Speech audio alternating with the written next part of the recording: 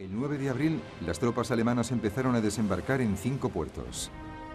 Oslo, Kristiansand, Bergen, Trondheim y Narvik. Al mismo tiempo, hombres de la recientemente formada división paracaidista alemana tomaron los campos de aviación de Stavanger y Oslo.